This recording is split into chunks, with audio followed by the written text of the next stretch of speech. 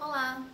Bom, essa é a nossa aula de pontuação, parte 2, o uso da vírgula. Nós vamos ver nessa aula que a vírgula pode ser entendida sob dois vieses, a vírgula no período simples e a vírgula no período composto. Se você, quando criança, em algum momento da sua vida acadêmica, escolar, ouviu que vírgula é quando se respira, naturalmente você deve ter dificuldade em acertar questões de vírgula. Essa é uma informação, amores, que tinha sua validade lá quando a gente era criança, não mais. Isso aí não serve para quem está prestando concurso, para quem quer dominar as regras da norma culta. Então, vamos lá, para a prof te ensinar como usar a vírgula. Reparem nesse slide introdutório onde eu digo que a vírgula representa um dos mais recorrentes usos dos sinais de pontuação e também um dos mais cobrados em concurso. Seu uso tem sido confundido com as pausas da fala e banalizado pelo entendimento de que vírgula é quando se respira. Na verdade, sua utilização é regida por princípios bem simples e sua regra geral estabelece que, em geral, a vírgula demarca uma pausa, no entanto, sintaticamente separa termos deslocados ou acessórios de uma oração no período simples ou separa orações em um período composto. Então, observem que aqui eu faço exatamente assim, ó. Eu dividi regras do uso da vírgula no período simples e regras do uso da vírgula no período composto. Só lembrando que para você que está aí acompanhando as nossas aulas, está assistindo ao nosso curso, Lá no, na aula em que eu falo sobre as conjunções, eu falo sobre o período composto. Se eu não me engano, a aula de conjunções ela está subdividida em três partes. Então, assista lá as aulas de conjunção, porque nelas, ao falar do período composto, eu já falo sobre a vírgula no período composto. Então, só recapitulando como que a vírgula funciona no período composto. Olha só, ela separa orações coordenadas assindéticas, ela separa orações coordenadas sindéticas adversativas, alternativas, conclusivas e explicativas. Ela separa orações subordinadas adjetivas explicativas e ela marca a anteposição da oração subordinada com relação à principal. O único tópico aqui que a prof não mencionou tem a ver com a oração subordinada adjetiva. Então, lá na aula do período composto, eu explico que, por esse módulo, esse curso online gratuito de língua portuguesa, ser um módulo básico, alguns tópicos não foram contemplados. Então, eu não contemplei nesse curso básico, por exemplo, o estudo das orações subordinadas substantivas e adjetivas. Por quê? Porque isso será explicado nos nossos cursos intermediário e avançado, que vem aí logo depois da nossa, do nosso lançamento do curso básico. Então, sobre as orações subordinadas adjetivas, calma, porque no curso básico a prof não mencionou ainda. Todos os outros elementos ligados à pontuação do período composto foram mencionados. E só para refrescar a sua lembrança, caso você já tenha assistido lá a aula de conjunção período composto, ou então, se você não tiver assistido para que você saiba, vamos dar uma olhada aqui. Olha só. Orações coordenadas assindéticas são aquelas que não têm conjunção. Então, vim, vi, venci. Três verbos, três orações. Já que elas não têm conjunção, como eu as separo? Com vírgula. Decepar a cana, recolher a garapa da cana, roubar da cana a doçura do mel, se lambuzar de mel. Então, decepar, recolher, roubar. Todas essas orações não têm conjunção entre si. Eu separo, então, pela vírgula, tá vendo? Com relação às orações coordenadas sindéticas, nós sempre, sempre colocaremos uma vírgula antes das conjunções adversativas, alternativas, explicativas e conclusivas. Lembrando que antes das aditivas, o seu uso será facultativo. E com relação à oração subordinada, adverbial, nós vimos que, como não iremos à festa, mandaremos flores à aniversariante. Primeiro passo é marcar os verbos. Iremos e mandaremos. Segundo passo, localiza a conjunção. A conjunção é como? Quando eu localizei a conjunção, a oração que ela introduz é sempre a oração subordinada, é sempre minha OS. Logo, essa daqui é minha OP. Se a minha OS veio antes da minha OP, a vírgula é obrigatória. Mesma coisa embaixo. Se chover, não iremos à praia. Chover e iremos são dois verbos. A conjunção é o ser, né, condicional. Achei a conjunção. A oração que ela introduz, o chover, é sempre oração subordinada. A oração subordinada é sempre aquela introduzida pela conjunção. Então, se a oração subordinada estiver antes da oração principal, vírgula obrigatória. Se a oração subordinada estiver antes da oração principal, vírgula obrigatória. Se a oração principal vier antes da subordinada, aí a vírgula é facultativa. Se fosse não iremos à praia se chover, aí não precisaria da vírgula, ela seria facultativa. Então, via de regra, no período composto é dessa forma que nós usamos a vírgula. A partir de agora, então, nós vamos ver como a vírgula é utilizada no período simples. Então, voltando ali ao nosso quadrinho do período simples, vocês vão observar o seguinte.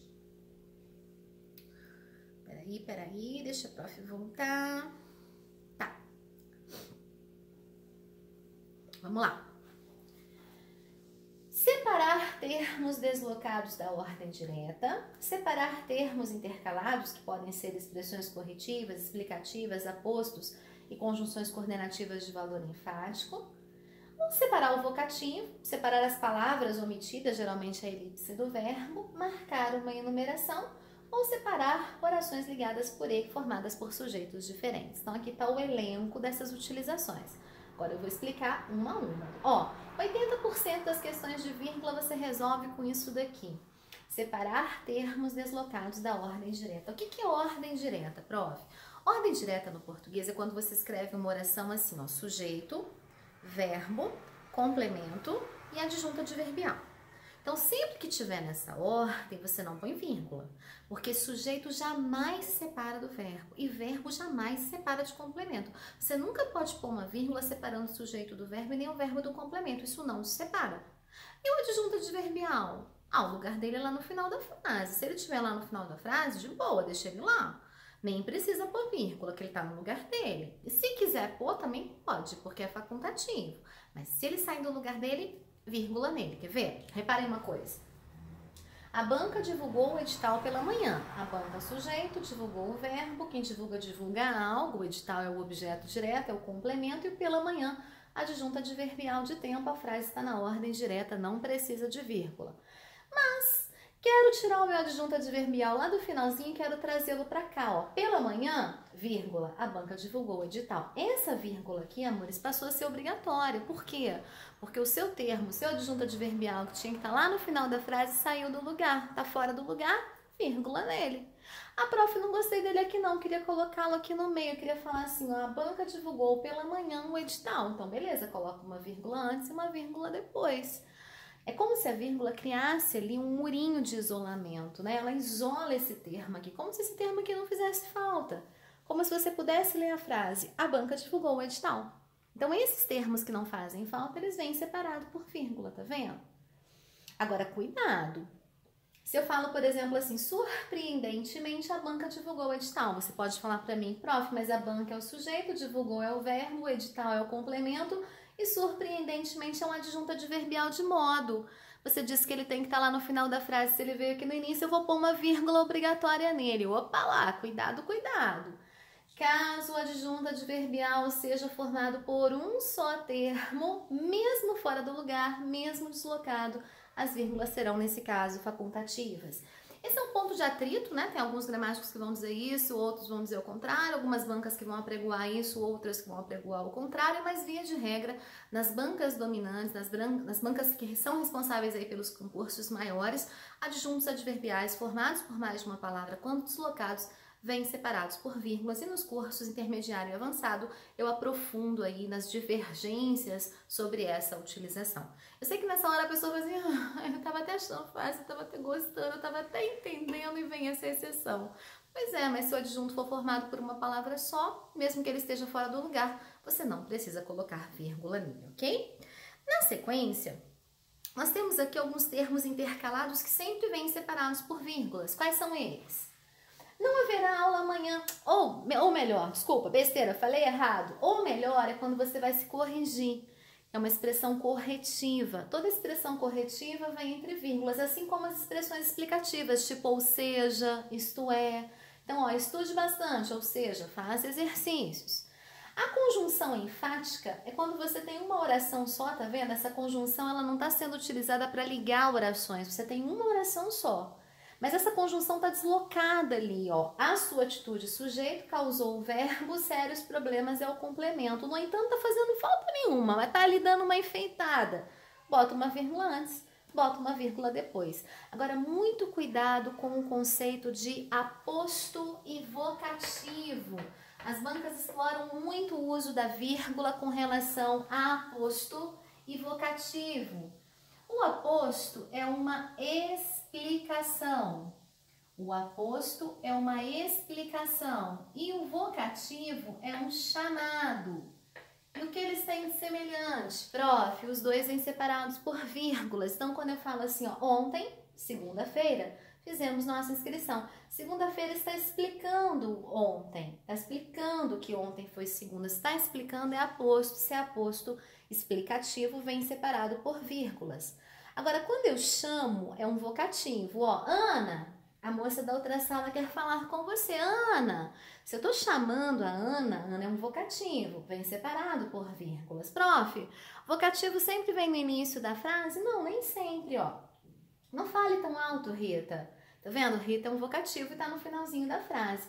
Amores, toma cuidado, porque uma coisa é eu falar assim, ô Ana, a moça da outra sala tá querendo falar com você. Esse Ana é um chamado, um vocativo, vírgula. Agora, se eu falar assim, sabe a Ana, a moça da outra sala, quer falar com você. Aí a moça da outra sala passou a explicar quem é a Ana. Então, dependendo da entonação, pode virar um aposto. E aí, naturalmente, se eu falasse assim, Ana, a moça da outra sala, vírgula. Aí a moça da outra sala passaria a ser uma explicação para quem é Ana, passaria a ser um aposto. Então, por isso que muita gente confunde. Lembrando que quando você não quer repetir o verbo, você pode deixá-lo subentendido, mas ali no local onde ele apareceria pela segunda vez, você tem que obrigatoriamente deixar uma vírgula. Olha só, para que sua conexão tenha mais vida e sua vida, mais conexão. Para eu não repetir o tenha aqui, ó, eu tirei o tenha, mas aí eu deixei a vírgula, tá vendo? Então, se eu fizer a elipse do verbo, eu tenho que deixar uma vírgula no lugar onde o verbo apareceria pela segunda vez. Tópico 5 é o uso mais primitivo, mais simples, mais singelo da vírgula, aquele que a gente aprende quando criança, né? Para separar os termos de uma enumeração, ou, como alguns gramáticos sugerem, separar termos de mesma função sintática. Então, entre os meus autores preferidos estão Guimarães, vírgula, Bandeira, e Drummond. E por último, nós temos por hábito não colocarmos vírgulas antes do E, porque o E soma, junta, a vírgula separa, então eu geralmente não coloco. Quando é que eu vou colocar uma vírgula antes do E? Quando forem sujeitos diferentes. Então, por exemplo, eu trabalho e estudo. O E está somando duas coisas que eu mesma faço, não tem vírgula. Agora, eu trabalho e João estuda. Então, eu sou o sujeito da primeira oração e João o sujeito da segunda. Quando as orações forem né, orações distintas com sujeitos distintos, você coloca uma vírgula antes do E. Ela não é obrigatória, mas ela é muito usual. Então, a gente diz, por exemplo, assim, ó. Os militantes puseram sua opinião, vírgula, e o jornal a distorceu. Os militantes, sujeito do expuseram, e jornal, o sujeito do distorceu. Então, nós temos aqui orações ligadas por E, mas com sujeitos diferentes. Então, por meio dessas informações, nós encerramos aqui não só a nossa aula de pontuação, como também o nosso curso básico gratuito e online de língua portuguesa.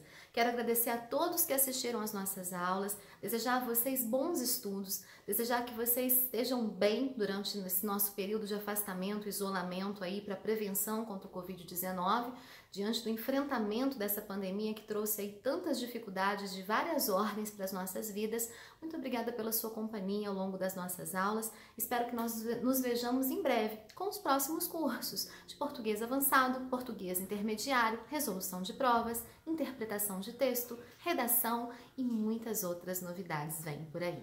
Não se esqueçam de se inscrever no nosso canal no YouTube, professora Eliane Miscali, curtir nossa página no Insta, profa Eliane Miscali e também no Muito obrigada pelo carinho de vocês, espero vê-los em breve. Fiquem com Deus. Beijo!